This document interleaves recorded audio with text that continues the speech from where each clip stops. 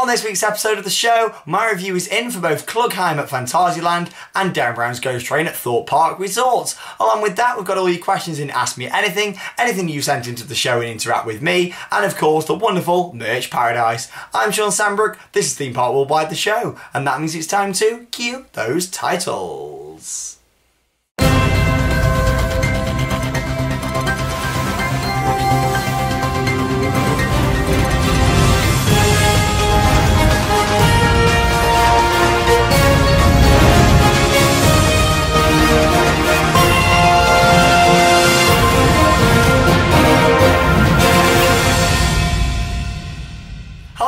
Welcome to the show. Hope you've all had a great week. It's been a really good one actually. The sun's been shining. It's been a good time to get out to the parks. And of course I had an absolutely awesome weekend. I was out in Phantasialand uh, where I went to go and see Klugheim, ride Taron and Raik. Something that I've been very excited for for a couple of years now ever since they started building those rides. And I'm going to be talking to you a little bit about them in News Off the Rails in just a second. I'm also going to be talking to you about Derren Brown's Ghost Train which is again something I've been looking forward to for over a year uh, ever since they announced this dark ride at Thorpe Park and construction began. I've been following it very closely and I finally got to ride it. So please be aware uh, that this week's episode of Theme Park Worldwide the show will include spoilers to Dan Brown's Ghost Train. I'm not going to go through the entire thing. If you have watched my vlog from Dan Brown's Ghost Train, you'll know how I talked about everything inside and revealed it all. Inside the show, I'm only going to be giving you my review and my thoughts to it. I'm not going to talk about absolutely everything to do with it, but I will be mentioning certain different aspects of the Ghost Train. So please have that in mind. Uh, but yeah, like I say, the weather's been quite nice for getting out to some theme parks. Now, a lot of you have been tweeting in pictures of you at the parks. Uh, drop us a follow on Twitter at ThemeParkWW. And of course, our Facebook page. We've always had your posts coming in. Lots of different questions, lots of different photos you at the parks. It looks like you've all had some fantastic times uh, over the past week. Let's get straight in then. Two awesome reviews we've got to share with you this week in News Off the Rails.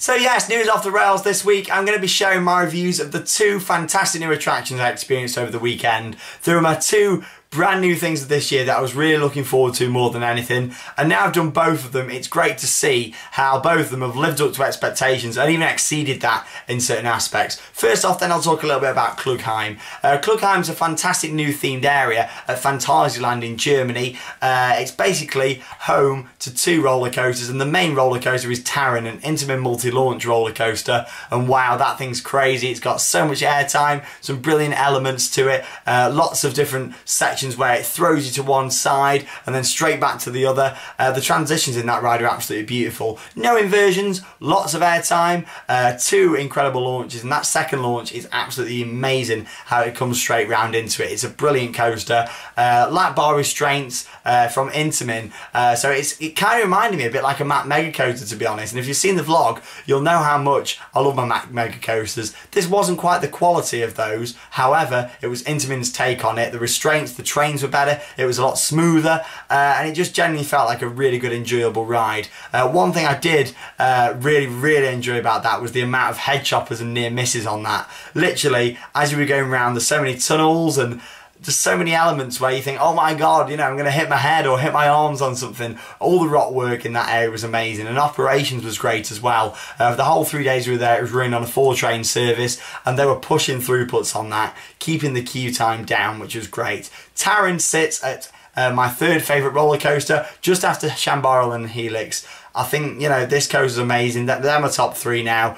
And yeah, the whole area of Klugheim is absolutely beautiful. It's nice to not have it based on like an IP, uh, you know, something like, say, Nickelodeon Land at Blackpool, for example. It's a unique theme. Klugheim is something the park have made themselves and made that themed area up over, which is great. Uh, you've got Raik, the Vekoma family boomerang. Once you've ridden one of those, you kind of ridden them all, uh, like I said in the vlog. But this is the best one in terms of theming, and it's the longest one out there in the world as well. Uh, yeah, it's really good how it's also dug down into a pit, and that's the one thing, like the whole of Klugheim and Taron, it's dug down to this massive pit, and yeah, what an absolutely astonishing ride. Um, you can just see on the screen there actually some clips uh, of myself and Lee uh, enjoying our ride on Taron there. Uh, what an amazing ride, look at that second launch, absolutely stunning, uh, and it's definitely one, if you can do, get yourself out here, guys. It's so easy uh, to go and check out that ride. Literally, you want to fly to Cologne. From Cologne, it's a couple of trains and then a shuttle bus to the park. It takes about an hour on public transport. Really easy to do. Uh, and like I say, it's definitely worth going out to see if you can do. Of course, here in the UK, Derren Brown's Ghost Train, a massive ride. Uh, yes, it was delayed. It was supposed to open at the start of May. However, uh, it's now soft opened. It's not officially open yet by all means, so don't expect to go there and 100% get on it. But what this ride is, uh, yeah, it's a complete experience attraction. So yes, I'm going to talk a little bit about it now. I'm going to spoil it in completely. Uh, like in the vlog, I did talk about it all, uh, and I did give you an advisory about that. So if you stayed away from the vlog, um, then I hope you have a really good time the first time you ride it, you know, and then afterwards watch the vlog after you've been on it and sort of we'll compare thoughts and sort of see how you guys thought to it and what I thought. But I think it's one of the best attractions in the UK. It's the best attraction that Merlin Entertainments have ever built, in my opinion. Of course, Merlin is the company that owns Thorpe Park, Chessington, Legoland, Alton Towers, uh, and they've done an amazing job. A massive amount of money must have been spent on that. We don't actually have a confirmed figure, but wow, it's basically a dark ride. If you're not too keen on that term uh, or unsure what it is, it's basically something what's indoors. Take Duel, the Haunted House, Strikes Back at Alton Towers, Hex, that sort of style. It's an indoor ride. Um, you know, what can either be a boat ride or a transit uh, sort of system inside it. Uh, however, this uh, yeah, and these are a few little spoilers, but nothing too much, like I say. Uh, obviously, you go inside, you've got the massive train carriage inside, uh, but what's inside that actual train carriage, uh, like the old fashioned Victorian train carriage, is actually a London Underground tube train that then magically goes out of there into another scene. You see a tube station, you get evacuated off due to uh, basically there's fracking going on down on the London Underground, and they're trying to get all this put like this gas out and things. Uh, and then a tube train is flying towards you in a live action scene with actors and things, uh, you know, and then you get back on that train uh, and see the magic again. So that's a little run through of what happens, but again, no, nothing too much there. It does feature VR quite heavily. Uh, I'd say about 80% of it's VR, but the other 20% is absolutely brilliant in terms of the live action. You got some good actors in there. You get touched by the actors, uh, lots of like air blast, that sort of thing. And it's a really good theatrical experience that I recommend you guys to go out there uh, and check out at Thorpe Park Resort. If you want to know a lot more about it, check out the vlog. Uh, it's the Derren Brown's Ghost Train Thorpe Park vlog, which was just gone online in the past couple of days. Check it out, and I'll talk for literally about half an hour. We asked a few people what they thought, and me and Lee have got a theory how we think it works. So check that out. But like I say, if you want 100% uh, spoilers on what actually happens inside that. Uh, like I say, two fantastic new additions that it was great to get on uh, over the weekend. Really, really good. And like I say, if you want to see what we're getting up to uh, whilst we're out there at the parks, all you need to do is check out uh, our Twitter at ThemeParkWW and also our Facebook page.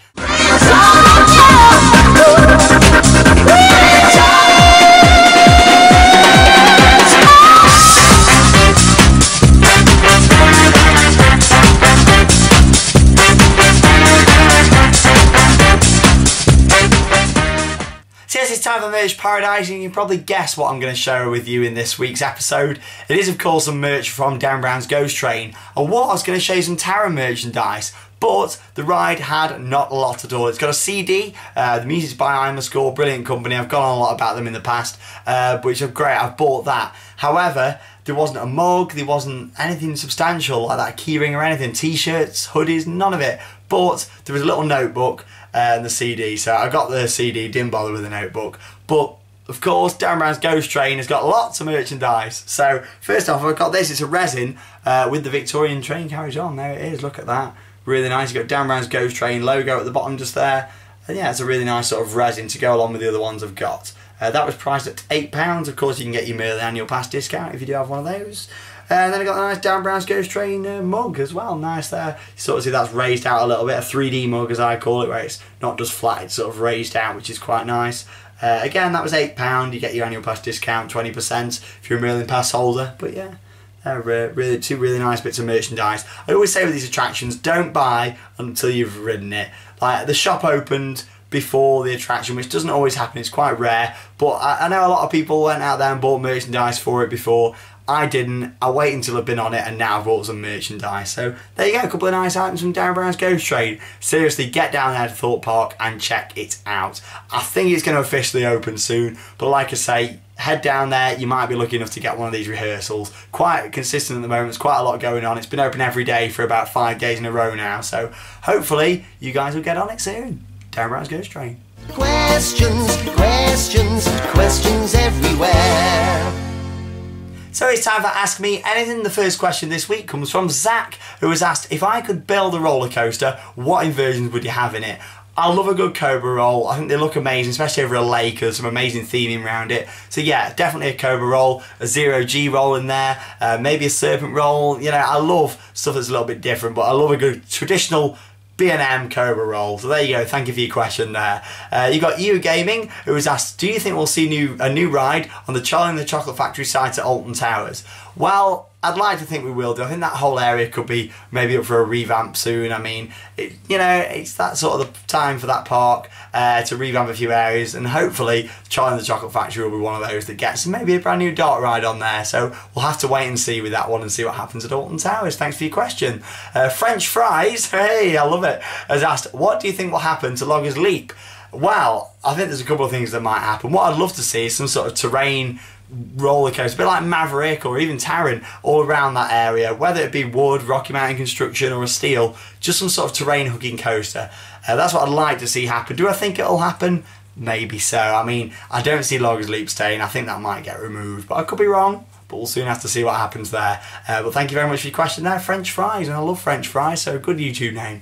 Uh, and Isaac Games asked, what would you theme Secret Weapon 8 to at Alton Towers? Well, what would I theme it to? Uh, it's got to be Mutiny Bay, hasn't it? I think, you know, if it's going to be some sort of launch wooden coaster, possibly. Uh, we know it's wood, but is it going to be launched? It looks like it could be.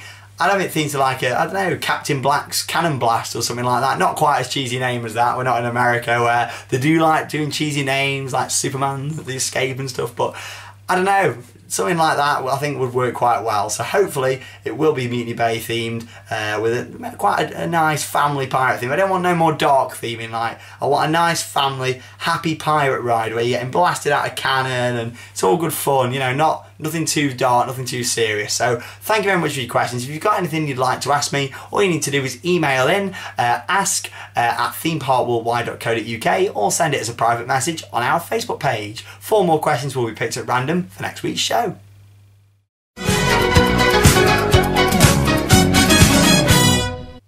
So each week we always end the show with Interact with me. So let's have a little look at what you guys have sent in for me this week. First off, you got Stuart Hall, a photo there at Europa Park. Thank you for sending it in there, Stuart. You got Kerry on Velocity at Flamingo Land. There we go. Thank you very much for that.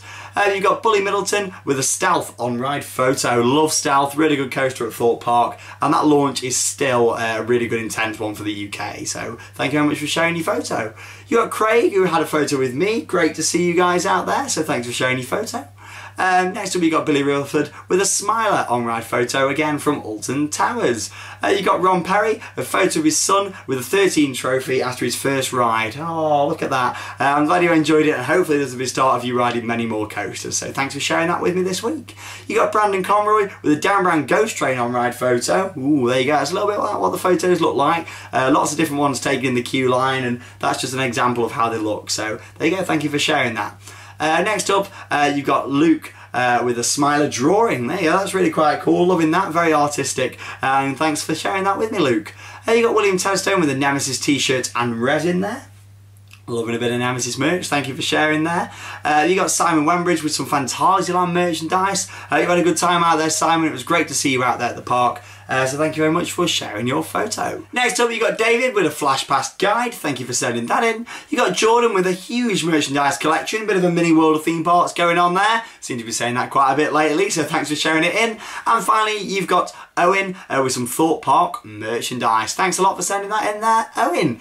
Happy birthdays this week go to quite a lot of people. You've got Matthew Ho, uh, Evie Pitton, Samantha Sky, uh, Leanna Kalala, uh, Catherine, Jake Benson and Jacob Craven. Thank you very much and have a very, very happy birthday from all of us here at Theme Park Worldwide. Uh, that's myself and all the different vlog stars that have appeared here on the channel. That's it then for this week's episode of Theme Park Worldwide, the show. Next week, we're going to be talking about even more new investments that have been announced for next year at various theme parks and, of course, some more news from our parks here in the UK. Thank you very much for watching. I am Shawn Sanbrooke. This is Theme Park Worldwide, and that means it's time to cue those credits. See you later, guys. Thanks for watching.